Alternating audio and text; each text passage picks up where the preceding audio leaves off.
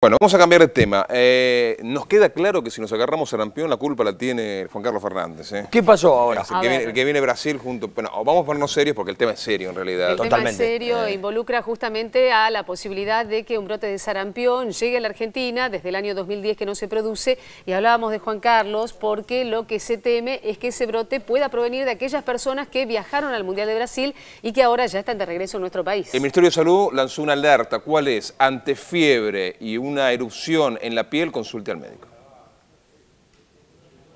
en relación a, estar muy muy atentos y alertas para prevenir la importación del sarampión. ¿Sí? En, Brasil, en realidad en Europa y en el resto de los continentes que no son América, el sarampión está circulando en forma muy persistente, eh, teniendo en cuenta el Mundial, 19 de los 32 países que participaron reportaron casos, el riesgo es muy alto que algún argentino que haya viajado haya tenido contacto con el virus, se haya contagiado y presente síntomas al regreso. Es lo que nos pasó después del Mundial de Sudáfrica.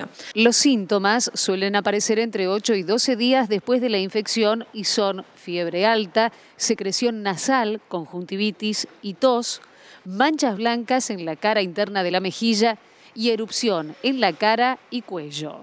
El sarampión puede afectar a todos. El sarampión es un virus que se transmite de persona a persona, mucho más fácil que, la gripe inclusive, eh, que puede persistir en el ambiente, así que podemos ni siquiera estar en contacto con alguien enfermo, sino entrar al mismo lugar donde estuvo esa persona y contraer el virus.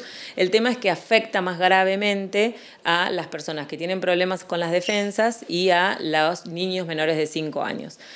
Fundamentalmente, nosotros tenemos la vacuna al año y a los 6 años, la triple viral, que protege contra el sarampión, la, la rubiola y la papel pero los menores de un año eh, no están vacunados todavía, entonces si todos nos vacunamos, disminuimos la circulación del virus y los protegemos a ellos que son los más vulnerables. Las complicaciones pueden aparecer por el mismo virus o por una sobreinfección y son diarrea intensa, infecciones al oído, neumonía, convulsiones y meningoencefalitis. Pero el sarampión puede prevenirse y muy alertas ante los síntomas. La población consultar y el equipo de salud notificarlo inmediatamente porque un caso sospechoso de sarampión es un brote.